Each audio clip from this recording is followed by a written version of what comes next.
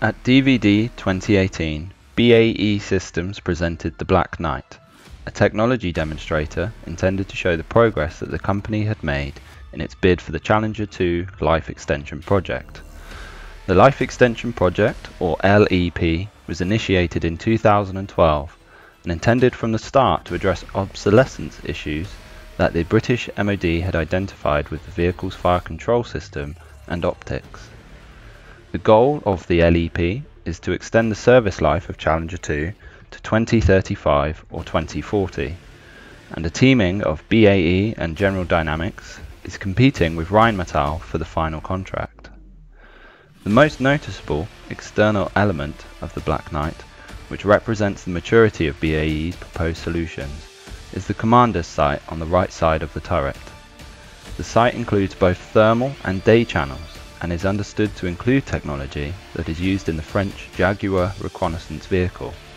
This potentially gives the Black Night the ability to detect targets at a range of 15.4 kilometers and identify them at 4 kilometers, which would give the vehicle the ability to see first and act first. The gunner's thermal imager, visible above the gun, has been upgraded with a Leonardo thermal camera that uses extremely sensitive thermal sensor technology to assure that Black Night can conduct hunter-killer engagements through 24 hours. This is one of the limitations of the original Challenger 2, as the commander is provided only with a relaxed viewing thermal screen provided by the gunner's TOGS 2 system rather than a true thermal combat capability. Other improvements include a Moog gun control system regenerative braking system, which takes energy from the recoil of the main gun to provide power for the turret.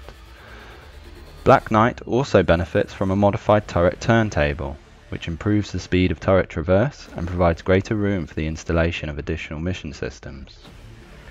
This is all combined with an improved fire control system, which would allow the installation of new ammunition natures if they became available.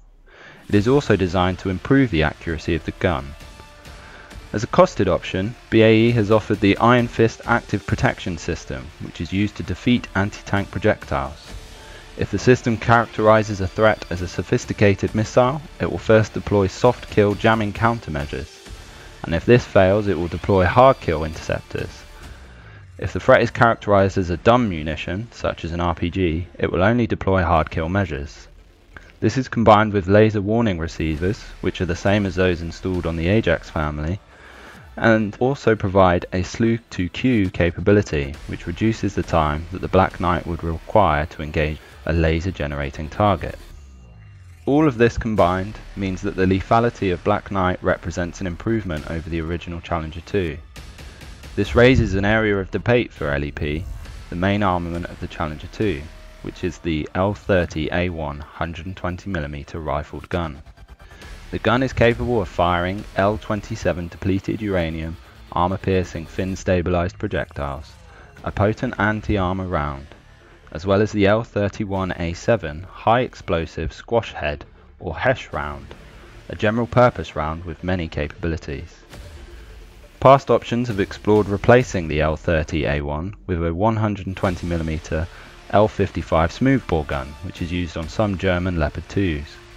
However, the option was considered too expensive when it formed part of the Challenger Lethality Improvement Program. It is also unlikely that the installation of a smoothbore gun would affect the totality of the battlefield. Smoothbore weapons can accommodate a higher chamber pressure than rifled guns, which leads to a higher muzzle velocity on armor-piercing rounds. However, it is unlikely that the 2035 battle space will present any challenges that the L-27 and the L-31A7 rounds cannot defeat. It follows that the slight lethality improvement provided by a smoothbore weapon would not be sufficient to defeat any targets that the L-30A1's armor-piercing and HESH rounds could not counter.